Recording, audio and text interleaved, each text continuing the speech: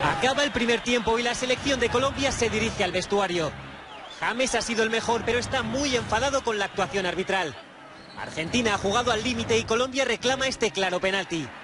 Los jugadores colombianos van entrando al túnel de vestuarios, pero el capitán y David Ospina esperan a Rodi Zambrano. Es entonces cuando comienza esta fuerte discusión. James acusa al árbitro.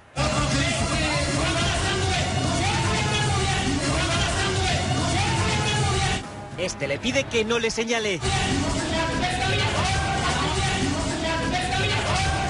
Pero James insiste, quiere hablar con él.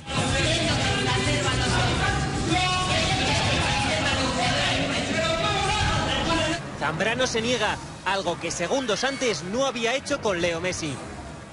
Un enfrentamiento en el que James se jugó la segunda amarilla. La primera la vio tras esta patada de mercado. El argentino lo caza por detrás y cuando James reclama la falta, Mercado lo provoca.